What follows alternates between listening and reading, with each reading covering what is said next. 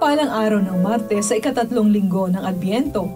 Ako po si Sister Ameline Paglinawan ng Daughters of St. Paul.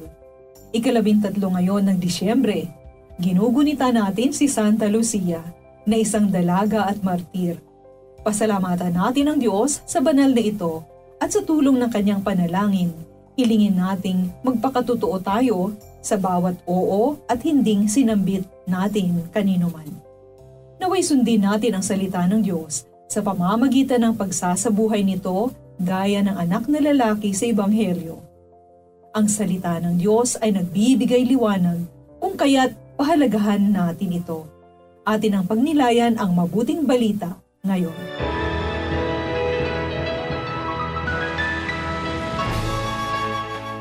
Nagpatuloy si Jesus. Ano sa palagay niyo? May dalawang anak ang isang tao Lumapit siya sa isa at sinabi, Anak, pumunta ka ngayon at magtrabaho sa aking ubasan. Sumagot ang anak. Ayoko! Ngunit pagkatapos ay nagbagong isip siya at pumunta. Pinuntahan din ng ama ang pangalawang anak at gayon din ang sinabi. Sumagot naman ang anak. Opo. Pero hindi siya pumunta. At tinanong sila ni Jesus. Sino sa dalawang anak ang tumupad sa gusto ng ama? Ang una. Talagang sinasabi ko sa inyo, mas nauuna sa inyo patungo sa kaharian ng langit ang mga publikano at mga babaeng bayaran. Dumating nga si Juan para ipakita sa inyo ang daan ng kabutihan, subalit hindi kayo naniwala sa kanya. Samantalang naniwala naman ang mga publikano at mga babaeng bayaran. Nakita niyo ito at hindi kayo nagsisi o naniwala sa Kanya. Ang pagsunod sa utos at kalooban ng Diyos ay naayon sa ating pananampalataya. Ang kaharian ng Diyos ay hindi nakikita ng ating mga mata kung hindi nadarama ng tinatawag na puso. Mga kapanalig, sa ating pagbasa ay sinabi na mga maniningil ng buwis at mga prostitutes ay makararating sa kaharian ng Diyos. Mauna pa sa akin mauna pa sa iyo. Bakit ganon? Hindi ba't ang mga maniningil ng buwis at mga prostitute ay makasalanan? Bakit sila pa ang mauna sa kaharian ng Diyos?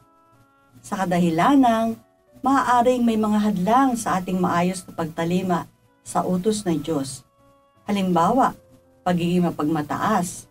Hindi ko naman nilalahat pero napapansin ko na sa mga organisasyon sa simbahan ay umiiral ang padrino system nagiging pribileyo kung anong katungkulan mo at posisyon sa organisasyon na minsan ay nagiging dahilan ng kawalan ng kababaan ng loob at maayos na pakikipagkapwa.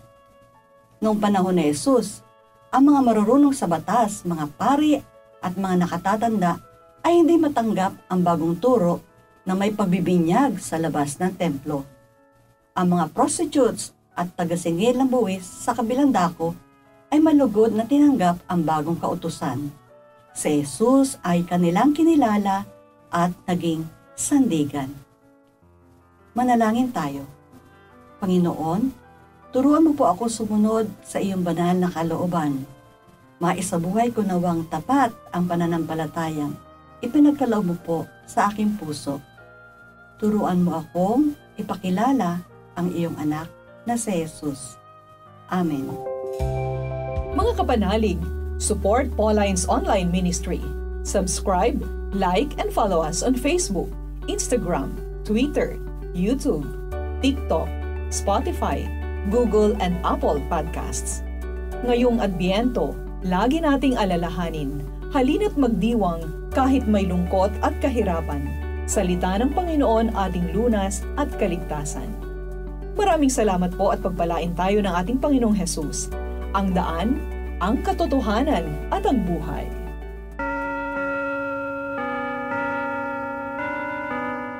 Diyos Ama, habang hinihintay namin ang pagdating ng iyong anak na si Jesus, bigyan mo po kami ng kapayapaan na magpapatibay sa amin sa kabila ng mga walang katiyakan at paghihirap ng buhay. Amen.